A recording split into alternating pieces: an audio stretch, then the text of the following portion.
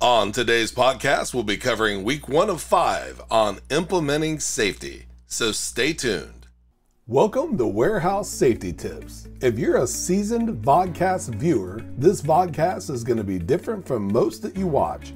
It's based around exactly what the name implies warehouse safety tips. And since the people in this industry are busy, we know that time is money, so each episode will be as short and to the point as possible. And now, with all that out of the way, let's get to the vodcast.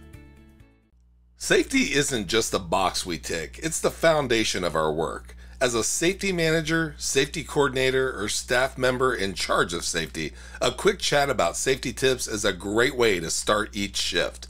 Here are a few tips to start off with.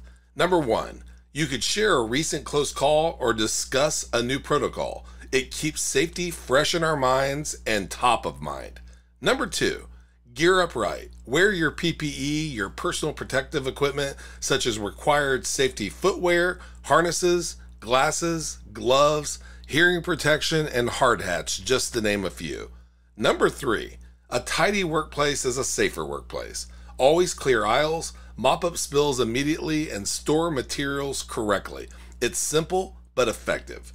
Number four, speak up. Do you see something iffy? Say something. Share your safety concerns with your manager or your safety coordinator. Let's keep the lines of communication wide open about safety concerns. And last but not least, number five, stay sharp. Tired workers make mistakes. Take your breaks, drink water, and especially during long summer shifts. These are general suggestions. Please tailor your topics to your specific facility. And remember, a safe workplace isn't just about following rules, it's about looking out for each other. Follow these tips, stay alert, and remember, our goal is for each of us to go home safe at the end of each day. Please do your part to make it a reality. Thank you for being part of another episode of Warehouse Safety Tips. Until we meet next time, have a great week and stay safe. Before moving on, here's a word from one of our sponsors. If you've ever been to or worked in a warehouse, you know just how important safety is to both management and staff. It's almost impossible to go 10 steps without seeing safety tape, angles, signs, and or safety products. It's these items that show us how to be safe and avoid danger in the workplace.